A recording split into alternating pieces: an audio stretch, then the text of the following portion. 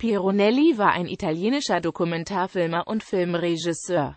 Leben Nelli arbeitete bereits Ende der 1940er Jahre mit Giuseppe De Santis zusammen und veröffentlichte 1950 seinen ersten eigenverantworteten Dokumentarfilm, dem bis 1967 regelmäßig und bis 1989 noch vereinzelt zahlreiche weitere Werke folgten.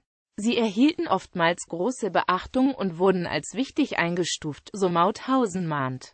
Ein Arbeitstag oder La Banta Negro, der 1966 beim Filmfestival von Venedig mit dem Premio San Marco ausgezeichnet wurde. 1952 debütierte Nelly im Spielfilmbereich mit dem nach eigenem Drehbuch entstandenen La Patria Spertiute, in dem er einen historischen Stoff mit den Mitteln des Neorealismus und mit Laiendarstellern ohne große Rücksichten auf Kino- oder deklamatorische Konventionen inszenierte in den 1960er Jahren beteiligte er sich an einigen Episodenfilmen und war ab 1967 fast ausschließlich für das Fernsehen tätig. Auch hier drehte er bedeutende Filme wie El Los Conosciuto, Il Capello Nero, Il Guardino Notturno oder Rossa e il Mago. Zweimal gelangten diese auch auf die Leinwände italienischer Kinos, dabei lief La Fabrica del Uomo auch auf dem Filmfestival von Triest.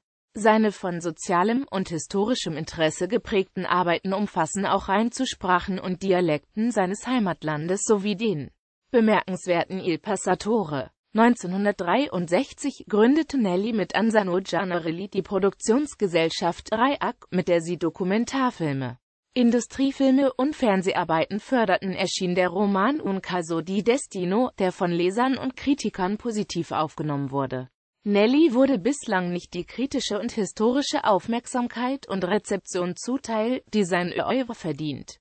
Filmografie 1952 La Patria Spertiute 1961 Die Italienerin und die Liebe